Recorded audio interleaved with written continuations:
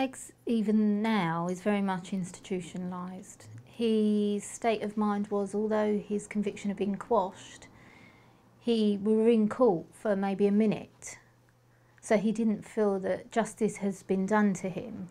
Didn't trust no one. I was isolated. I was on my own.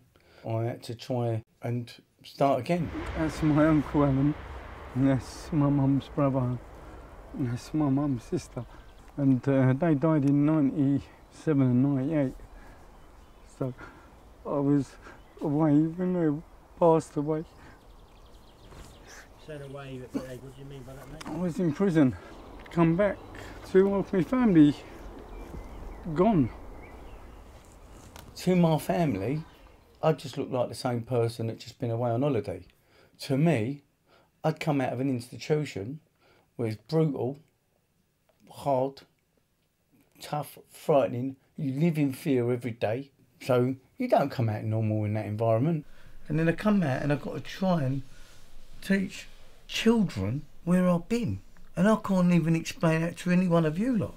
Any one of them ministers that say, yeah, give him a life, let him go to prison, bang him up, put him behind his door 24 hours a day, and when he comes out, he'll be all right, he served his sentence. You've just created a psycho or, or a man that needs help.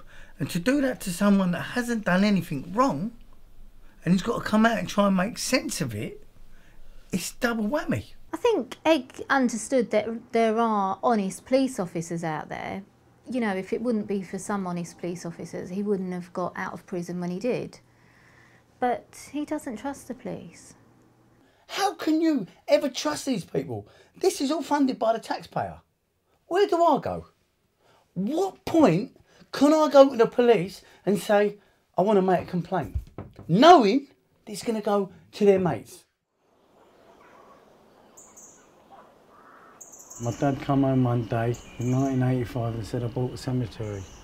Your instant reaction is, what do you mean you bought a cemetery? Everything about Brookwood is big. It's, you know, the largest cemetery in Britain. It's probably the largest cemetery in Western Europe. When it opened, it was the largest cemetery in the world and it was designed to cater for all of London's dead uh, forever. That was the original plan. We have the Sultan of Oman buried here, architects, artists, actors.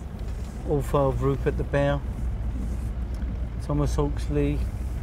We've got our own actors acre. We've got our own Swedish, Latvian. It's a huge multicultural community and we have to remember that we also have the relics of a saint here in the form of St Edward the Martyr and he's the oldest person whose bones are buried here. Right, this is where my mum and dad is.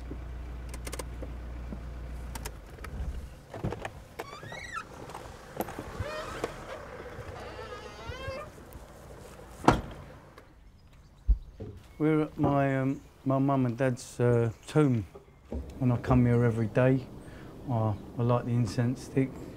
I I say a little prayer, and uh, they give me the strength to carry on. I absolutely love and respect them both, and you know it's it's hard.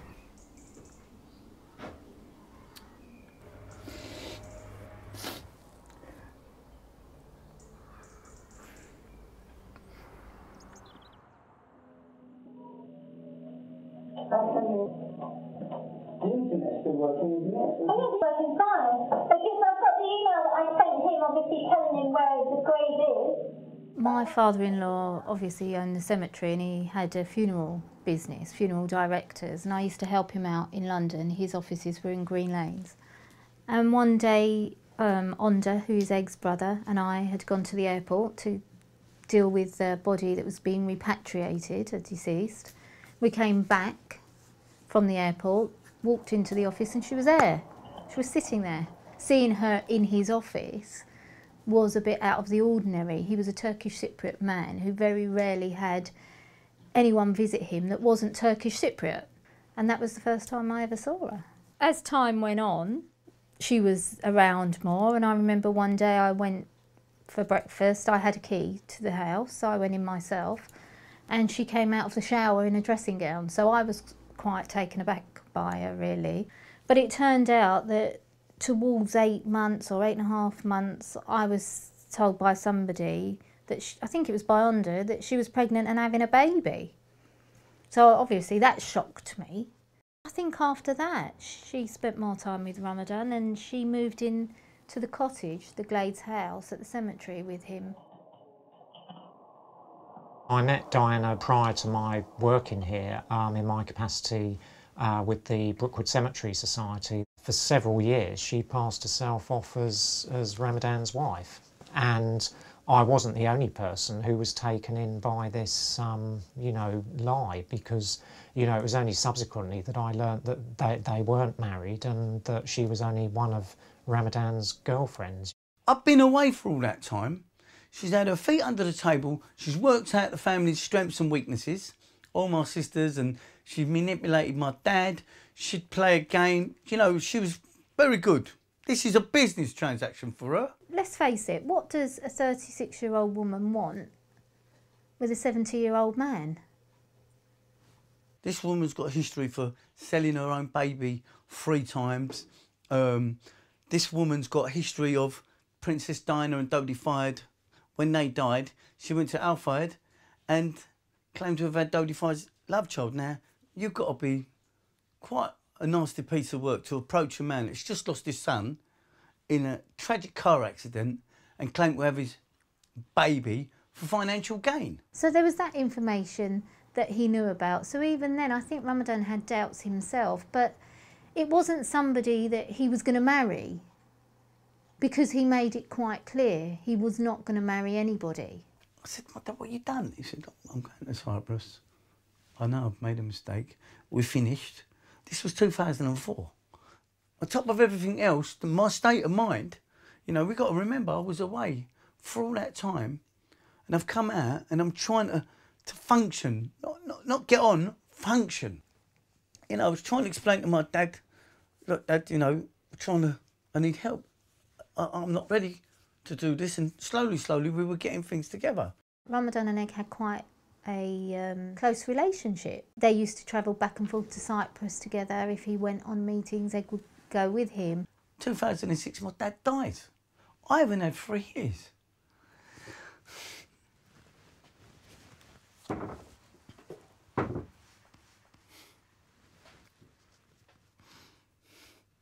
When they got there, he immediately rang up and said, you know, my dad's been murdered.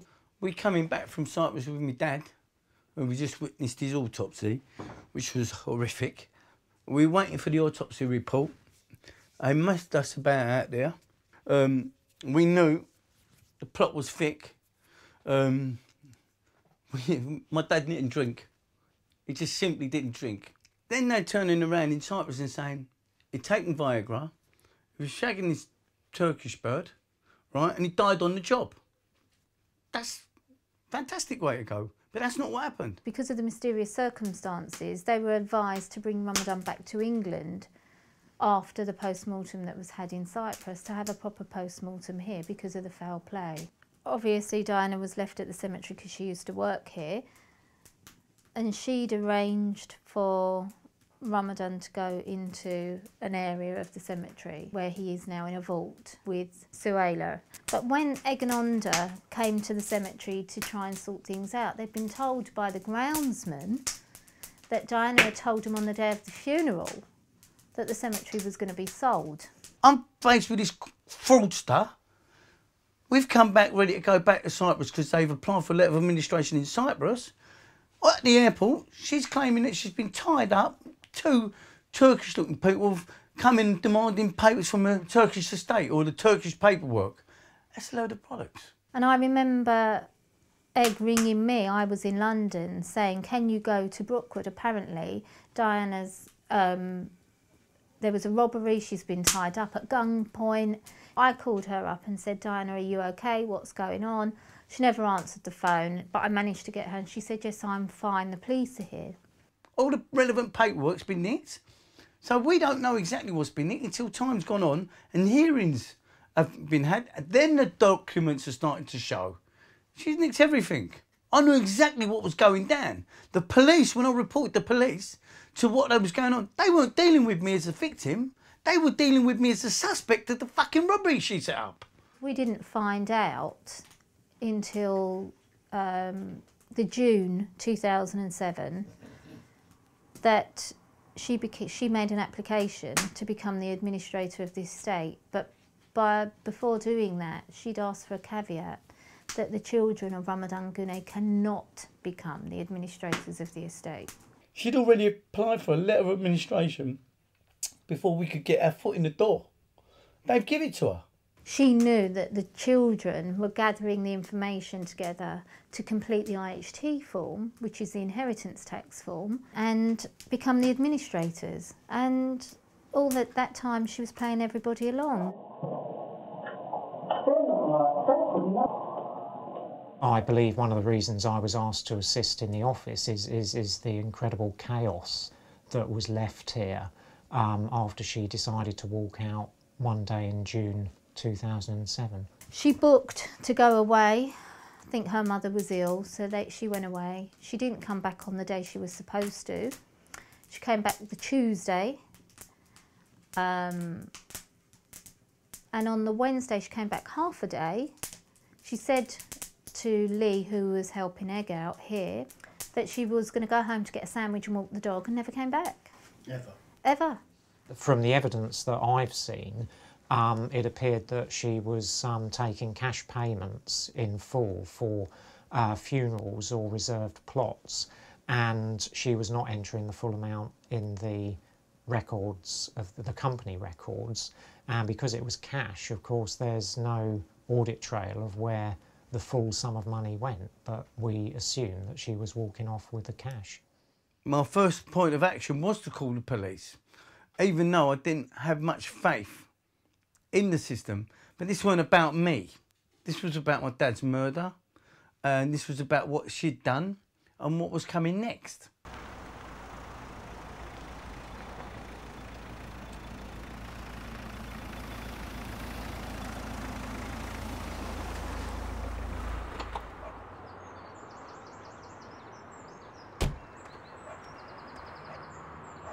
I was employed as a civilian investigator for Surrey Police. In early 2008, I was asked to um, take on an investigation, an alleged fraud investigation, which involved Brookwood Cemetery and Mr. and Mrs. Guney.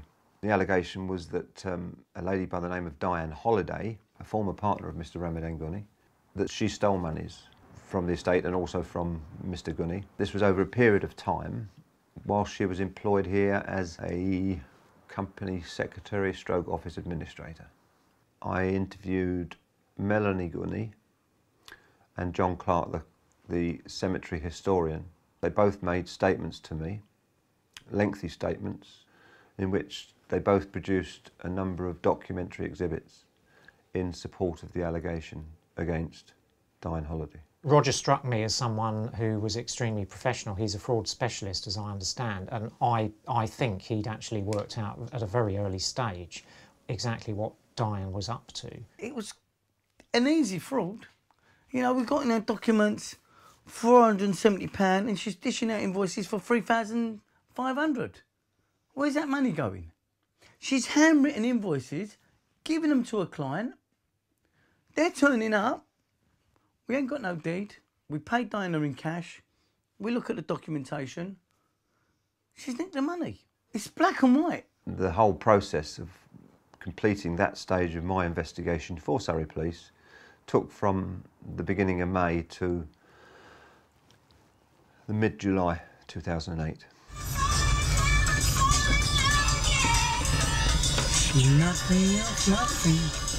I saw Egg all the time because he was hands on in running the business. Obviously, the grounds here uh, take a lot of upkeep, so he was in and out of this building where he lives, by the way, um, all the time. We were approached by the prolific offending team. Egg was trying to do his bit for society, really, and help offenders. Because I've been in that situation. No one wants to employ anyone that's got form of being in and out of prison and GBH and all that stuff. You know, we've got 460 acres here. We need all the help we can get. I thought, why not? We give give it a shot to show good faith to the police. One of the guys that came to us anyway, he had history of working here, who we knew, and uh, basically had no chance of any employment because of his history. then off the back of that, why are we're relying on the same police, Hendy and Molyneux, I think Molyneux's one of Molyneux's jobs was to um, find replacements for people that can't get jobs, and they stuck this Shamaradi into us. Got him interviewed. He was going to be deported. He'd just come out for I don't know what it was, beating someone up. He was a horrible man. And I remember speaking to Egg about him and saying, you know, I don't feel comfortable with him here. There's something not right about this bloke. He was asking me all sorts of questions, what my issues were and everything else, and what's that all on the car, the untouchables and everything else. He was speaking to all the staff, all the usual stuff that an informer would be trying to do. It was sort of a, almost a running joke that if you were out with Egg, anyone who he didn't immediately recognise was probably, you know, an undercover officer or something like that. And I just took it as part of, you know, the way Egg was because of what had happened to him before with his major miscarriage of justice. He crossed the line. Um, I pulled him up.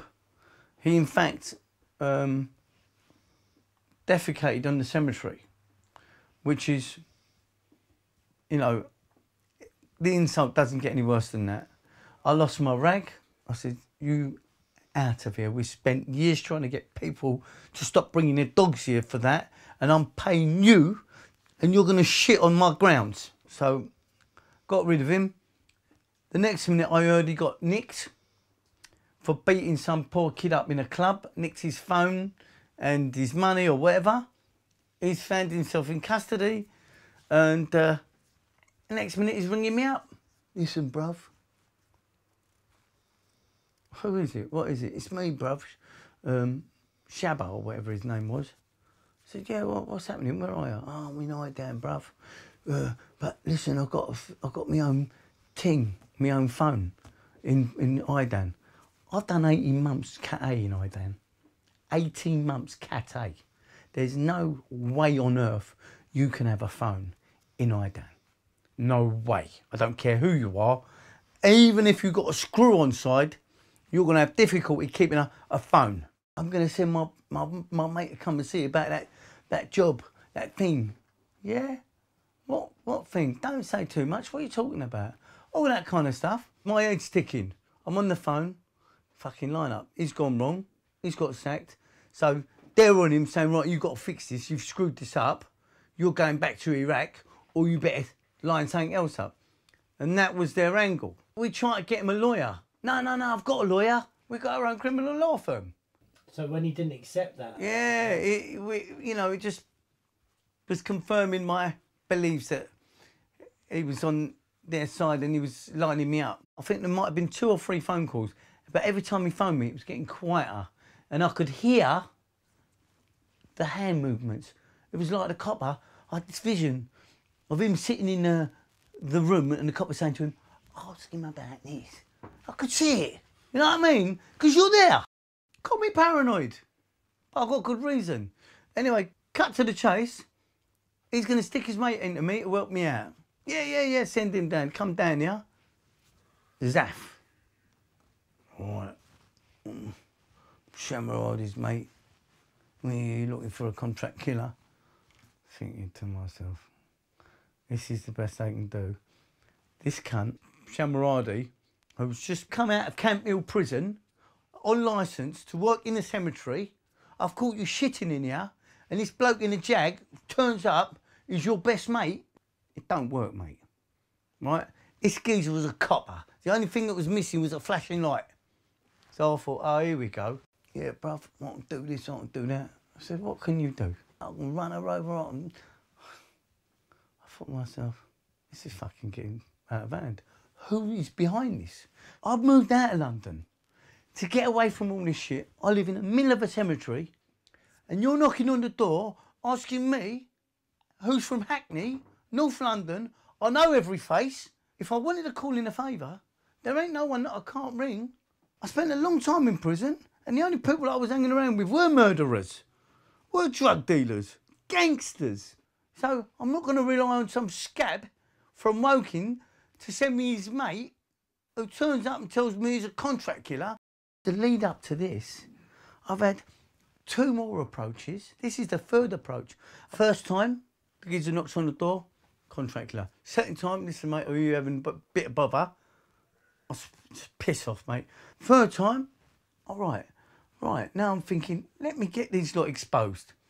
My intention was solely to expose the people that were on this operation, to get these lot out of the way, to then say, right, stop fucking about with me, get this shit out of the way. This lot's all working with Diana. Investigate this. My dad has been murdered. He phoned me and told me that this was going on before it all escalated. He said to me that these people are about, the police are phoning in, they're trying to fit him up again. You know, he's just come out of prison for seven years and uh, he's been, you know, given the cemetery. And and all of a sudden, the Surrey police are on his case. It's really strange. And you can't help but feel that Diana and the police are involved in this whole thing. While that was all going on, uh, Roger Sprickley was here taking information and exhibits of the fraud. You didn't notice anything at that point that would indicate that Egg was up to anything untoward. Certainly not. No, up what he was up to. No, most of the time he, he, he's quite relaxed, but his his personality changes from time to time. When something's worrying him, then he, he's prone to outbursts. Now, this is after the first copper, Laura Hendy, that I've reported for failing to do her job. The second copper, Molyneux, has failed to do her job. I've got Roger Sprickley in front of me. So you believed Roger knew all about this? Of course he did. Why shouldn't I at that time? Why shouldn't I? There was no reason. It's a copper. They're all coppers. Everyone's a copper as far as I'm concerned. How can I trust anybody? He would always say to me, I'm being followed. I've just come back from this one. The police have followed me. Somebody knocked on the door, said they were looking for Diana. Someone knocked on the door saying, I understand you want to get rid of Diana. And I just used to say, think, as I always thought, that he's paranoid, he's over paranoid, being here at the cemetery on his own, driving him mad. I never had an inkling. If I had, I would have put a stop to it. So the whole scenario was, uh, I come back and speak to Zaf.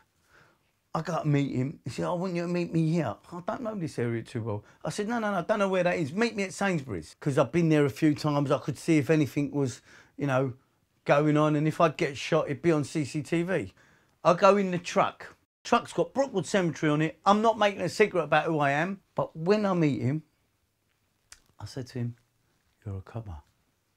He says, I'm not a copper. Nah, bruv. I said, you're a copper, mate. Nah, bruv, I'm not. I said, all right. So we started driving round, go round my dad's house where Diana's occupying. So as we're driving round, he knows exactly where he's going.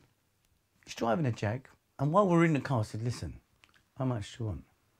What do you mean? I said, what do you want? Five, ten grand? Tell me who you're involved with, what's going on, who's executed the warrant. Just tell me. Nah, bruv. I said, listen, it's going to get messy, mate. He weren't having it. He's still making out. Anyway, I said, pull over here quickly. Pulled over. I said, quick, jump out of the car. Jumped out, and I've turned round, seen the Audi, I've seen the BM, I've seen another silver car. I said, you fucking cunts. Yeah, I know who you lot are now. Come back here. And I said to Roger, just left one of your mates. That's just going to get messy.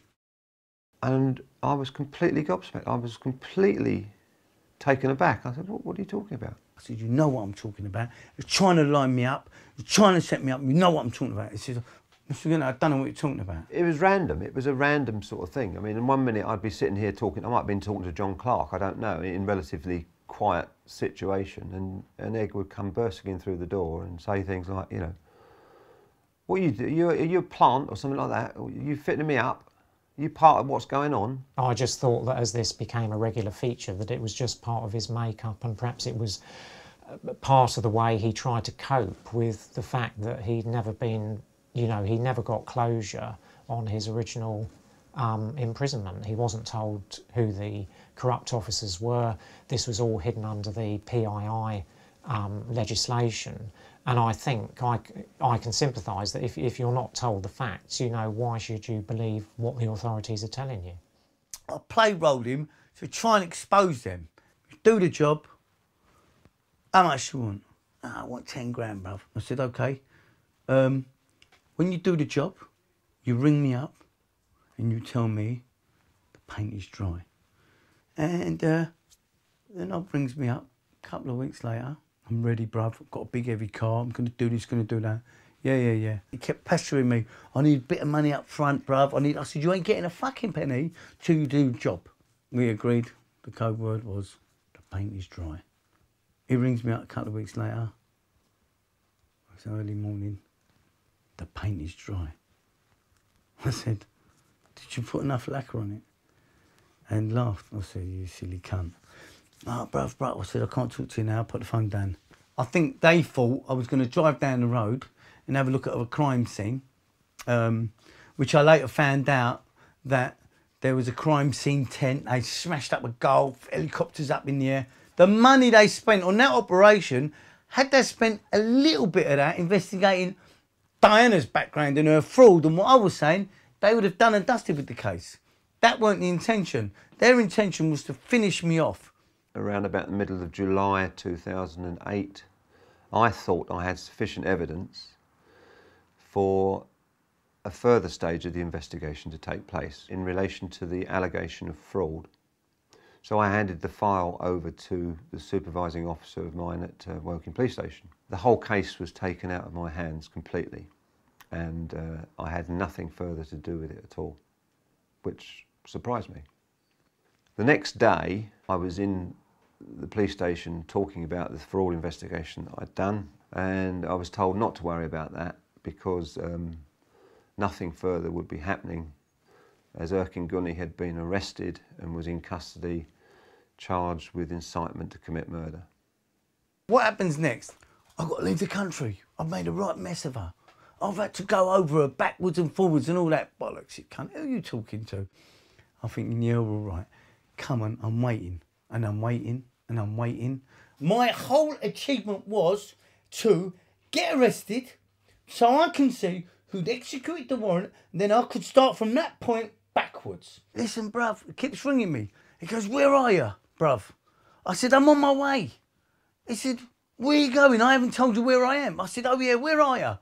I was never going to meet this geezer because I know I'm being walked into a trap. I take the phone, battery, card out, throw the phones on the floor. Fuck you, right? I'm getting on with my day. I was expecting them to come in the morning, nick me, and have a day at the police station, get my brief there, and get this all out in the open. It didn't work like that. It's half past eight. I didn't think they would come in, or if they were coming, I thought they'd come in loaded, guns, drugs, going to set me up again. About 8, 8.30 was it, um, a whole load of cars uh, came through the gates and all these people got out and um, someone who I subsequently learned, you know, was in charge of the search party, as it were, um, had a warrant for Egg's arrest. Uh, Guney? I said, yeah. He said, you're under arrest for solicitation of murder. I said, really? I said, anyone been murdered? I said, no. I said, anyone been paid? I said, no. Show me the warrant. Got me the warrant. I said, there you go. Laura Hendy. As I expected. I've been complaining to her about Diane Holliday, and this is what's been going on. And I've done this to expose you lot. Well, bitch, don't say nothing until we get down the station. Now, I said to him, I'm not getting in that car until you search me. Search me. I said, now I'm getting in the car. Why did you do it there? Because I didn't want them to plant anything on me. And you had cameras, right? And I had the cameras in front of me. I didn't have a clue what was going on. Um, the whole thing was actually quite terrifying. Someone had managed to get a message to Mel, that's Egg's wife, who was um, at a family birthday party in London. I rang, got off the phone, I rang our lawyer to find out what was going on. He'd been taken to Woking police station, from what I'd understood. I got in my car and I drove to the cemetery. When I walked into the cottage, they were everywhere. There was two police officers in the reception area bagging up, up exhibits. The police were, in my view, quite defensive. Um, I found them quite rude and abrupt. and um, it was it was terrifying. I didn't I didn't sleep properly for over three weeks after that. I asked them for their warrant. All I remember was seeing Laura Hendy's name, and I said, "Oh, that's a bit of a coincidence because Laura Hendy was the police officer that investigated the um, fraud initially. But a couple of days before, or a week before, I'd written to the DI of the case because I'd seen information, correspondence, where Laura Hendy had been writing or calling Diana's lawyers saying that we were making allegations that Diana had taken stuff from the cemetery. He says, her, Diana's lawyer says to her, well, it seems they're on a fishing expedition, and Laura Hendy says, yes, probably. Get into the police station. I said, bring your mate out, Zaf. Bring everyone in here. Let's have it all out. I've done this to expose you lot so you can get on with the fucking real job. Oh, it don't work like that, Mr. Guney. I was contacted by an officer from their special um, serious crime unit at Leatherhead and asked to go over there, present myself for an interview. I was asked if, if I could recall any threats um, made in my presence or earshot, and um, I said I didn't hear anything like that. No. My feeling at the time was that, that didn't suit the police. It wasn't welcomed. But they'd asked me to make a statement, and I, and I did. And I, I actually said to the officer that took it, I said, well, do you want me to tell the truth or do you want me to tell lies? I said, because that's the truth. How's your relationship subsequently with Surrey Police? Well, I haven't worked for them since. Why they started the investigation or the undercover case that they did, I'm not sure what, what was going through their head. Probably Diana banging on about Egg because Egg needed to be out of her way, you see. He was her obstruction. I thought it'd be a matter of going down the station, explaining it, exposing it, and that'd be it. Well, I was wrong. That weren't it.